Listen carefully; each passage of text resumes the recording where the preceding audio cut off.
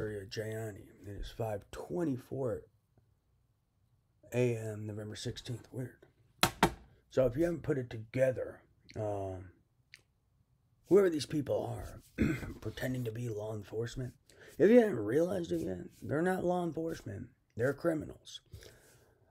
And any guys who are law enforcement, you know, wearing their badge, if they're involved with this hostage scenario, they're not law enforcement. They're fucking criminals. Wake up. Yeah. See, law enforcement agents protect U.S. citizens. They arrest terrorists. They arrest criminals. They arrest people involved in RICO. Yeah, the minute law enforcement starts robbing U.S. citizens, stealing their IP, their data, committing assault covertly on United States citizens, robbing U.S. citizens of their property and committing aggravated assault and robbery, and getting involved in illegal gambling and RICO. They're no longer law enforcement. They're now fucking criminals and thugs.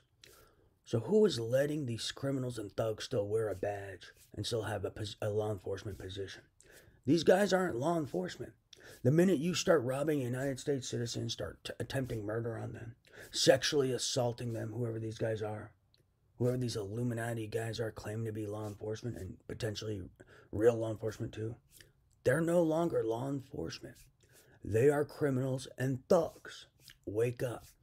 Yeah, people who are law enforcement aren't supposed to be committing assault on United States citizens for their property on a regular basis.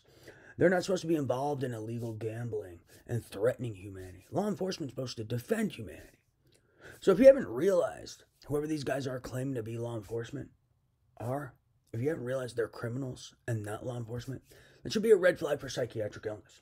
Because, yeah, law enforcement is supposed to defend and protect humanity, not endanger humanity. Law enforcement is supposed to protect and arrest people involved with RICO, not be involved in the RICO.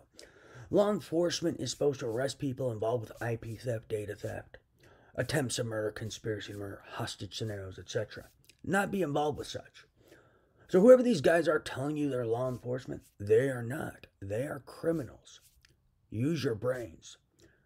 And if you don't realize they're criminals and thugs, that should be a, it's a, a red flag, either for psychiatric illness or more than inhuman stupidity and criminal negligence.